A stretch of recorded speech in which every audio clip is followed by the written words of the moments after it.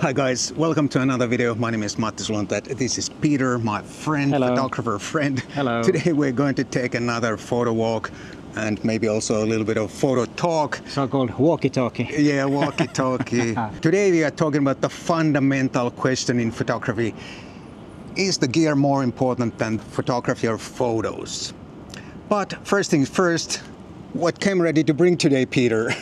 Well, today I took the Fuji XS20, a little bigger than my usual street photography camera. The That's reason- the Ricoh, right? yeah, The that's GR. the Ricoh GR3X. The reason is that I wanted to test the wider angle. This is the 16 millimeter f1.4 lens. 16? Is it like is, it's like 24. Yeah, it's like right. 24 on this, and because I'm not very used to using this wide, so I wanted to try that if I can do anything with this. All right, makes sense.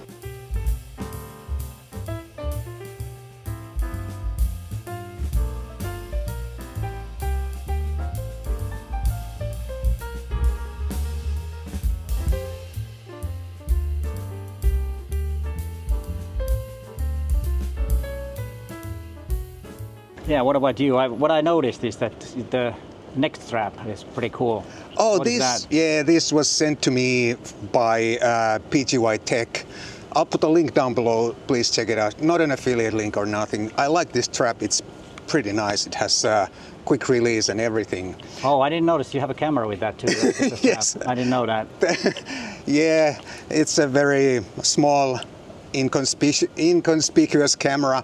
It's my Sony a7 IV, and the lens is a 20 millimeter f2.8. But I made a mistake today when I picked up the lens. I meant to take the new, brand new Viltrox 40 millimeter f2.5, but it looks exactly like this. Only the the print on the on the lens is different, and I just didn't look you know, I didn't pay any attention. I just picked the lens from the from my lens cabinet, put it on, and now I realized it's the wrong lens. But hey, they, this can happen. It's a lens anyway. it's a lens. It's a lens. At least it's a lens.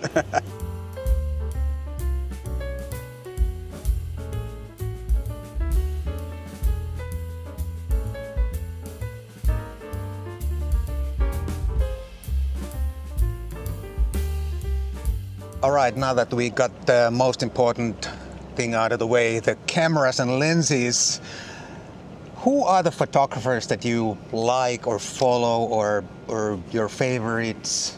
Well, that's a pretty broad question because I tend to like quite a bit of different photographers. But from anyway, mention genres. just few. Yeah, I will. I will. I'm just uh, thinking about from well, street photography is something that I try to concentrate now when I do my everyday photography. So I would I would say that of course the, the, the camera a little bit.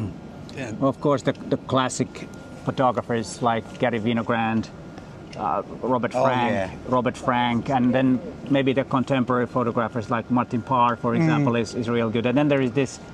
Uh, to be honest, I'm not sure if the site is still on called In Public, which is Matt Stuart Yeah. runs that. It, used to be a real big thing. I think it's still. But Matt Stuart is a great photographer Yeah. anyway. I like him. Yeah, I'll yeah. follow him those too. are maybe those are the, the ones. And then of course there are a few photographers on YouTube that I like to follow, and one is is Faizal Westcott, and then there's Mike Chudley is, is a very Mm. good which I like, and then there's this uh, couple Jeff and Sarah um, Asco, I think. they're- Yeah, Asco.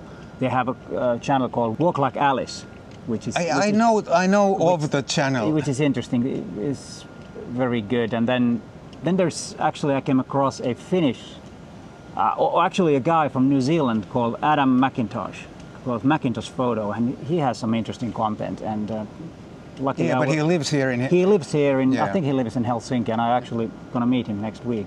Ah, talk to- interesting. talk to him about photography, and let's see. Maybe we do some content together. I don't know. It depends. Oh, sounds But good. Maybe maybe those, and of course, then I follow your channel. this channel, you know, you should too.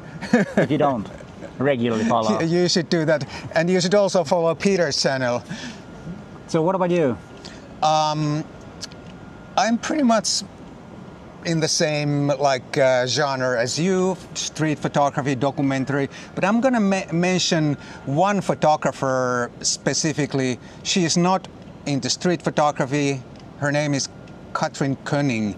I'm not sure if I pronounced the last name perfect, uh, perfectly or right, correctly, but I'm mentioning her because I simply don't understand her photography at all. But it's still interesting to follow her, and every time I'm looking at her work, I'm trying to figure out what goes on in her mind when she's sequencing her photos because her work is, to me, pretty weird but I think it's a good idea to look at uh, some photographers' work, even if you don't fully understand it, because it keeps your brain going and and and it makes you realize that you can do so many different types of photography. Yeah, I think that that's if, if anything from this video you put in your mind, I think that advice is the real thing because that is that's a great advice to to follow photo, photographers that you don't understand because that that really kind of like makes you think.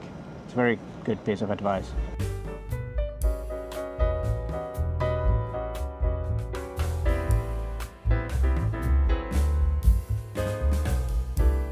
Do you, Peter, know what cameras uh, your favorite photographers use, and do you even care?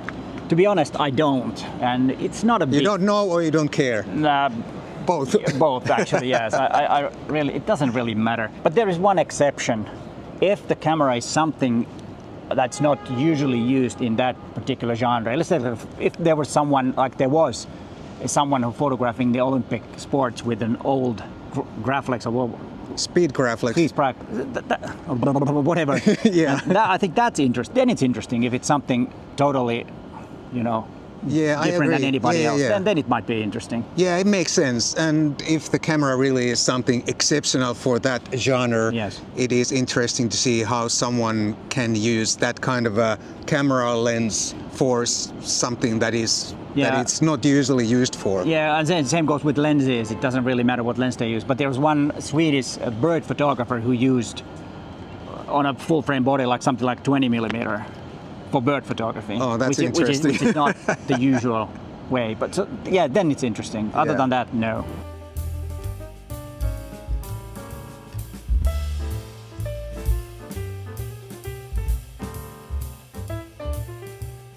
Can I ask you a question? Uh, yes. okay, good.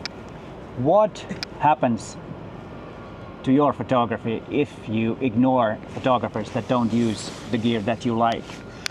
Uh, well, I think it can potentially hold you back and hinder your progress as a photographer because inevitably, if you do that, if you only follow the gear and not the, the photos or the pictures, you will inevitably kind of ignore also a lot of good photography if you ignore certain gear or certain photographers who use certain gear. And I think it's I'm gonna say it's it's stupid to do that because it will hold you back and it will make you a worse photographer almost. Yeah, it's a good answer. I, I agree on that. So, what another thing that you should take with you from this is don't follow the gear, follow the photos.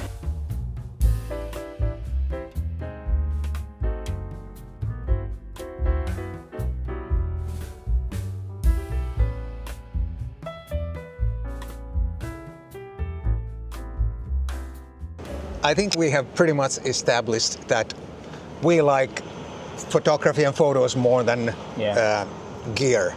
However, I'd like to ask, if I may ask, yes, you can.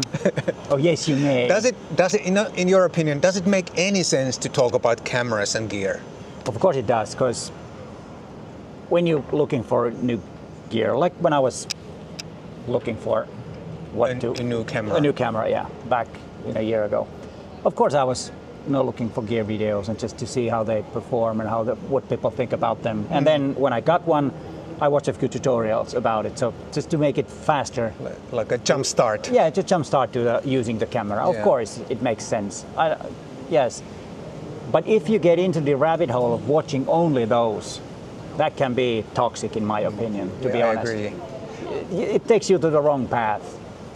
Because right now, I don't watch any gear videos at all I also find it because I don't need yeah, anything. pretty Yeah. boring actually.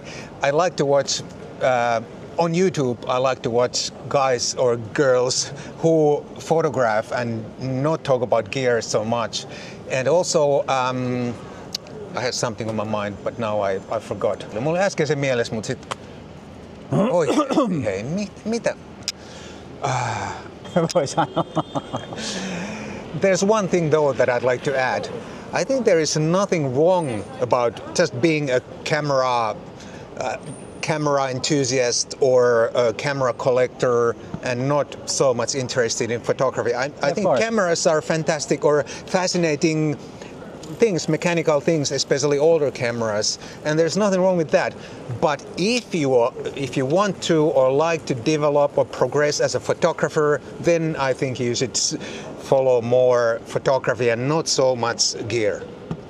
Exactly. That's my message. exactly. I suppose that's a wrap today. Thanks, guys, so much for watching. And remember to check out Peter's channel too. And hope to see you soon in the next one. And thanks for inviting me again. It was Hey. a pleasure. Always a pleasure making videos with you, talking and walking and whatever. Mitäs olisi kahvit? Lähdetäänkö kahville? Kahvin paikka. Until the next one.